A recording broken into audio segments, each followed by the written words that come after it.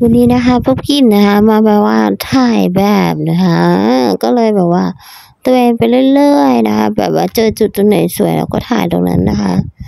ก็เลยแบบที่แรกก็ถ่ายอยู่ที่ชายทะเลนะคะ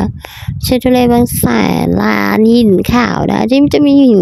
หินขาวโคตรใหญ่ๆนะคะเรียกลานหินขาวที่ใกล้กับแหลมแท่นนะคะแล้วก็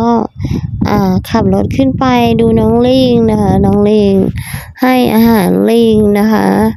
แล้วก็ขับลงมานะคะ แล้วก็มาจุดนี้นะคะ เป็นจุดแบบว่า จุดชมวิวเขาสามมุกนะคะ ก็เลยแบบว่ามาถ่ายรูปตรงนี้หน่อยนึงแบบสวยงามตามทองเรื่องตรงนี้นะคะ ก็จะเห็นแบบมีผู้คนแบบลงไปแบบ ด้านล่างด้วยอะไม่รู้เขาลงตรงไหนก็ไม่รู้ไอเราก็คนชลบุรีเนาะแต่ว่าไม่ค่อยไม่รู้ว่าว่าเขาไปลงกันจุด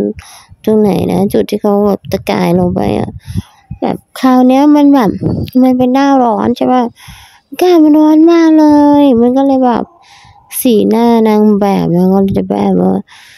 โอ้ยร้อนอะมูมูมีมีหน่อยนะคะ แล้วก็คราวนี้จะเจอแบบต้นกระบองเพชรอะ แบบออกลูกเต็มเลย แบบมันสวยงามมากเลยสวยงามนะแบบหืมร้อนจริง ๆ ร้อนจังๆเลยอะ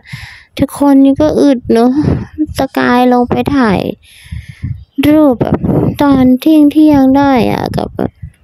วิวชายทะเลแบบว่าคนอึดมากเลยนะคะ